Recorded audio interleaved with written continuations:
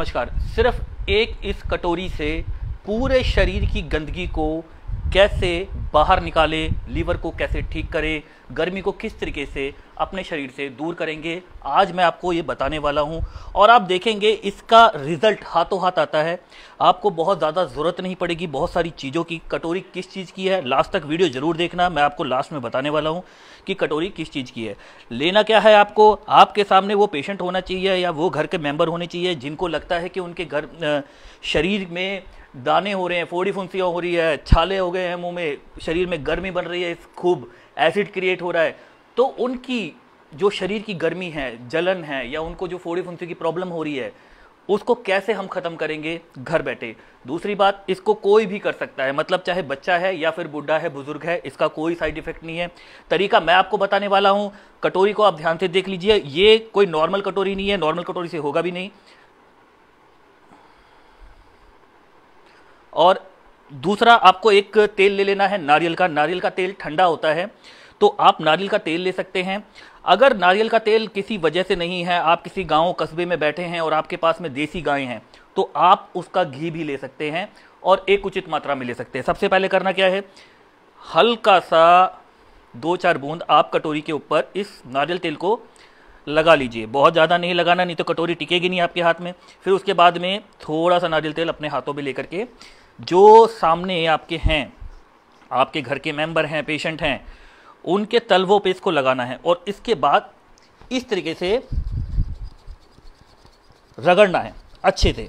देखिए पाँच पाँच मिनट अगर आप रगड़ेंगे, कटोरी अपने आप काली होने लग जाएगी, लीवर की जितनी गर्मी है, शरीर में जितनी भी गर्मी होगी, सारी बाहर आती हुई दिखाई देगी। और आपको इसके बाद में बहुत ही ज़्यादा आराम मिलने वाला है। ये एक मैं आपको जो तरीका बता रहा हूँ ना, ये तरीका आपको बहुत ही कम देखने को मिलेगा। हमारे यहाँ पर दूर दूर से पेशेंट आते हैं, वो कहते हैं, हमारे पैरों में जलन रहती है, हाथ पैरों में जलन रहती है। और साथ के साथ आपको ये भी ध्यान रखना है कि अगर आप थोड़ा खाने का भी ध्यान रखें, जैसे गर्मी चल रही है तो इसमें आप छाछ ले लें। छाछ की जो तासीर होती है, दो चीज़ों में काम करती है। एक तो अगर आपका वज़न बढ़ा हुआ है, वज़न कम कर देगा, दूसरा शरीर को ठंडा रखेगा। एक और चीज़ आपको बता रहा हूँ, तरबूज। ये देखिए। तो ये जो कालक है, ये जो कालापन है, ये पूरा का पूरा बाहर निकलेगा। अभी थोड़ी देर अगर हम और लगाएँगे इनको तो कटोरी बिल्कुल काली हो जाएगी और आप देखेंगे कि शरीर से जितनी भी गर्मी, गंदगी है, जितने टॉक्सिन्स है, कोई लगाते हैं, हमारे पास में सर टॉक्सिन्स निकलेंगे, नहीं निकलेंगे, कैसे? ये देख लो भैया, निकल रहे, देख लो। तो यहाँ कोई दवाई नहीं लगाई गई है आपके सामने और ना ही किसी तरीके का कोई मशीन लेकर के आए हम।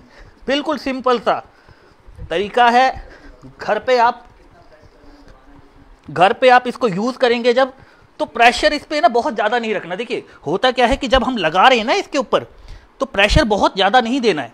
हल्का सा प्रेशर देना है। हल्का हल्का प्रेशर देते रहेंगे ऐसे तो देखो पेशेंट को भी अच्छा लगेगा और आपके सामने भी रिज़ल्ट आएगा। और जो प्रेशर पॉइंट होते हैं एक्यूप्रेशर के, वो भी दबेंगे। तो उससे होगा क्या कि थ्री इन वन मतलब तीन चीज़ें एक बारी में हो गई। एक्यूप्रेशर के पॉइंट दब गए, गंदगी निकल गई शरीर की और सामने वाले को मज़ा भी आने लग गया। और साथ के साथ बॉडी तो खैर रिलैक्स हो ही जाएगी। तो ये देखो ये देखो। हाथ को चलाना जल्दी जल्दी है, बस ये ध्यान रखना है स्पीड से। ऊपर से, देखिए, एक बार फिर से स्लो मोशन बता रहा हूँ। नीचे से जाएँगे ऊपर और नीचे, ऊपर से फिर नीचे। और इसको सही तरीके से, ठीक है? तो जितनी भी बॉडी के अंदर समस्याएँ हैं, ये होती हैं हमारी गर्मी के कारण। ऊपर से गर्मी लग रही है, गर्म खाना खा रहे हैं, मसालेदार खाना खा रहे हैं, ठीक है? तो उससे हो जाती है, ठीक? तो ये हम दूसरे पैर पे भी करके एक बार आपको दिखा देते हैं। ये देखिए साफ़ मतलब हो सकता है कि पेशेंट क्योंकि हमारे पास में काफ़ी टाइम के बाद आ रहे हैं, इनको पहले से प्रॉब्लम है तो हल्का सा रगड़ते ही इनकी बॉडी रिएक्ट कर रही है। कटोरी बिल्कुल साफ़ है जी। कटोरी में कोई दिक्कत नहीं, इधर देखिए। क्योंकि टॉक्सिन निकलेगा बाहर यहाँ से, इधर से। तो कटोरी साफ़ रहेगी, मगर जो तलवा है, वो दिखाई देगा काला, बिल्कुल।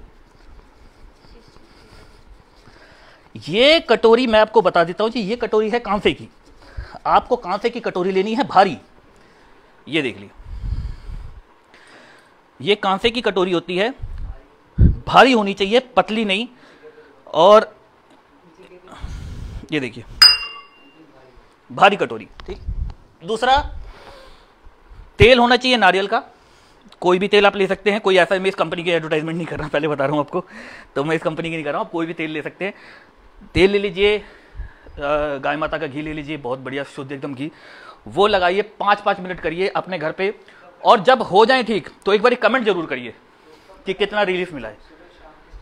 आप इसको किसी भी टाइम कर सकते हैं। कोशिश ये करें कि शाम के टाइम करें, जब वो सोने के लिए जा रहे हो, क्योंकि उससे उनको आराम मिलेगा और सुबह जब वो उठेंगे तो बिल्कुल फ्रेश उठेंगे।